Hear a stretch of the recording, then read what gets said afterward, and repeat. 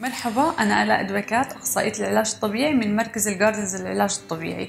بدي أحكي لكم اليوم عن العلاج الطبيعي وإيش يعني العلاج الطبيعي.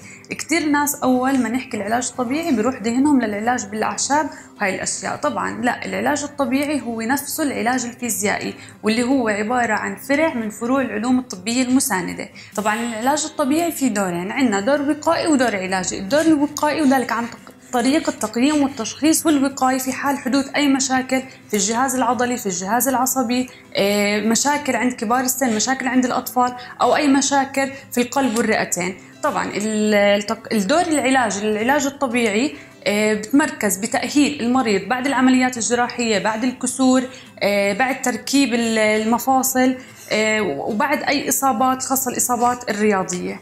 أهداف العلاج الطبيعي عندنا أهداف قريبة المدى وأهداف بعيدة المدى. أهداف قريبة المدى تمركز على تخفيف الألم تخفيف الانتفاخ آه، إعادة مدى الحركة للمفاصل تحفيز أو تقوية العضلات. والأهداف العلاج الطبيعي على المدى البعيد إعادة المريض للحياة الطبيعية اللي كان يمارسها قبل الإصابة وقبل آه، التعرض لأي مشاكل آه، في بجسمه.